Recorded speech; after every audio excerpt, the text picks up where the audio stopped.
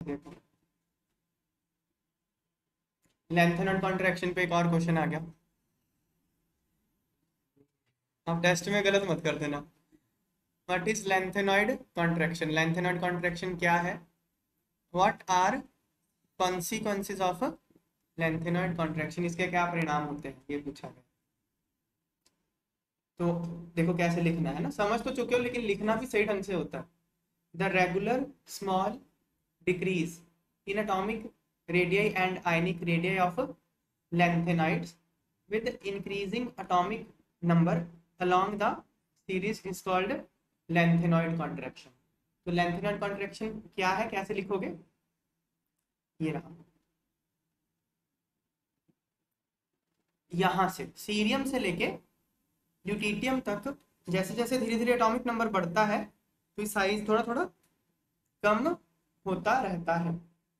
किसका size atom का size भी और उसके आयन का साइज़ भी।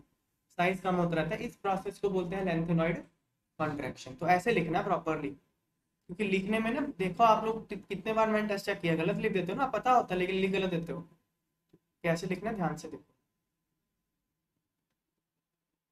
चलो डेफिनेशन तो हो गई। Of lanthanoid contraction are lanthanoid contraction के क्या परिणाम होते हैं? पहला second and third d series second d series कौन सी है? Four d series third d series कौन सी है? Five d series second and third series exhibit similar radial second और थर्ड पीरियड का जो अटोमिक साइज़ है, वो ऑलमोस्ट सेम है। एग्जांपल बताया इसने। जिरकोनियम का 160 पिकोमीटर अफीनियम का 159 पिकोमीटर जिरकोनियम 4 डी सीरीज़ का एलिमेंट है अफीनियम 5 डी सीरीज़ का एलिमेंट है। इनका अच्छा फिर क्या रेडियस सिमिलर होने से क्या होता है? Very similar physical and chemical properties chemical और फ़िज़िकल प्रॉपर्टीज़ भी उनकी फिर सिमिलर हो जाती है। Much more than expected on the basis of usual family relationship family relationship मतलब ग्रुप एक ग्रुप में सारे एलिमेंट्स की प्रॉपर्टी सिमिलर होती है, इसलिए उनको ग्रुप में रखा जाता है। क्यों होती है सिमिलर क्योंकि इलेक्ट्रॉनिक कॉन्फ़िगरेशन सिमिलर होती है। पर इनकी इलेक्ट्रॉनिक कॉन्फ़िगरेशन तो सिमिलर है ही साइज़ भी सिमिलर हो गया। इसलिए जो प्रॉपर्टी में सिमिलैरिटी है, वो बहुत ही ज़्यादा हो जाती है। किसकी? फोर डी सीरीज़ की और फाइव डी सीरीज़ की। तो ये ऐसा हुआ क्यों लेंथेनॉइड कॉन्ट्रेक्शन साइज़ सिमिलर क्यों हुआ? लेंथेनॉइड कॉन्ट्रेक्शन की वजह से। ठीक ठीक है ना बात? अगला। पहले थर्ड पढ़ लेते हैं। थर्ड की फ़र्स्ट से रिलेटेड ही है।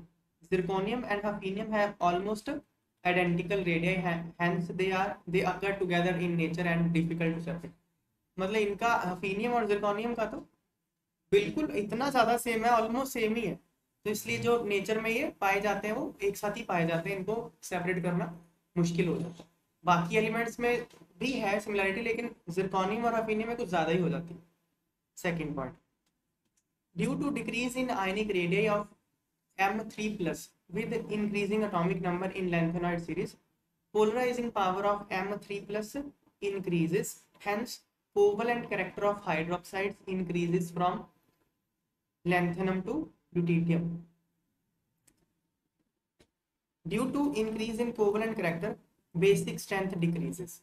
देखो ये आप वैसे भी जानते हो एक पीरियड में जब आप लेफ़्ट टू राइट जाते हो तो बेसिक नेचर क्या होती है जब आप इधर जाते हो तो बेसिक नेचर क्या होती है कम होती है कम देखो ये नॉन मेटल्स है ना और ये मेटल्स है मेटल्स तो बेस ही बनाते हैं ना मेटल को पानी में डाल दो हाइड्रोक्साइड बनाते हैं। ये एसिड बनाते हैं।